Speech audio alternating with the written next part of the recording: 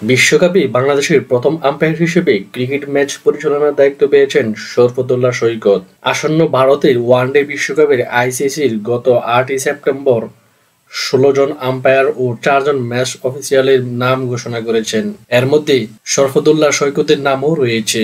তার আম্পায়ার ক্যারিয়ারে তিনি তেরোটি টেস্ট পঁচাশিটি ওডিআই এবং উনষাটটি টি টোয়েন্টি দায়িত্ব পালন করেছেন। জীবনের প্রথমবারের মতো ক্রিকেটের সবচেয়ে বড় আয়োজনের বড় দায়িত্ব পেয়ে ভীষণ রোমাঞ্চিত শরফতুল্লাহ সৈকত। এক সাক্ষাৎকারে শরফতুল্লাহ সৈকত বলেন, আসন্ন আইসিসির বিশ্বকাপে দায়িত্ব পালন করা স্পষ্টতই একটি স্বপ্ন।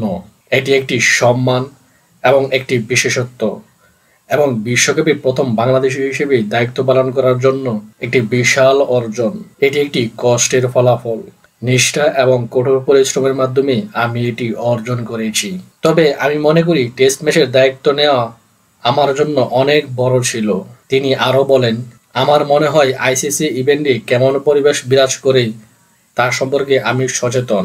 আর কিছু অভিজ্ঞতাও আছে। তবে আগের যে অভিজ্ঞতা, এবারটা তার চেয়েও বেশি। আমি যে চ্যালেঞ্জ নিতে মুখিয়ে আছি, বিশ্বকাপের বিভিন্ন দল থাকবে এবং তাই আমাকে তাদের নিয়েই জেনে শুনেই প্রস্তুতি সম্পন্ন করতে হবে।